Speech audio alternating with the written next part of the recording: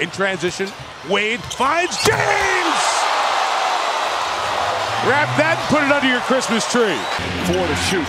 Parker, oh, spread the heat. Oh, what a block from James! Throws it back at Splitter, who is ready to dunk. Battier gets it in. Here's James on the drive